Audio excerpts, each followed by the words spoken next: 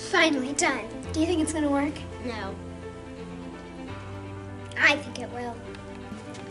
Okay, do I have plutonium? Yeah, check. Do I have my trash can? Check. Do I have my socks? Check. Lastly, time field. Check. Put it in. Thank you. Ready? Launch. Whoa! Where are we going? Whoa! I think it's working.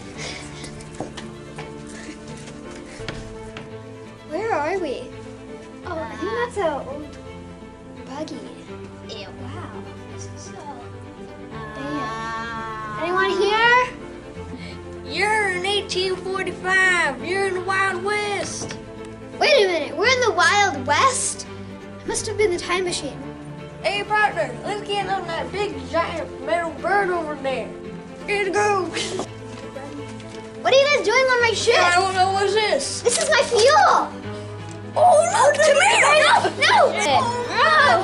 Hey, what's this? Perfect tomato! You guys want us to suppress that?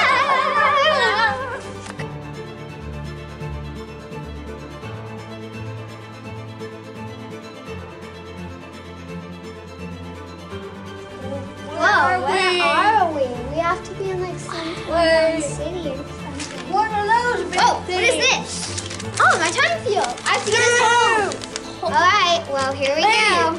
Partner, I see tomatoes in there. Partner, look at all these tomatoes. You guys, these are tomatoes. These are buttons for fireworks. Beep. Oh,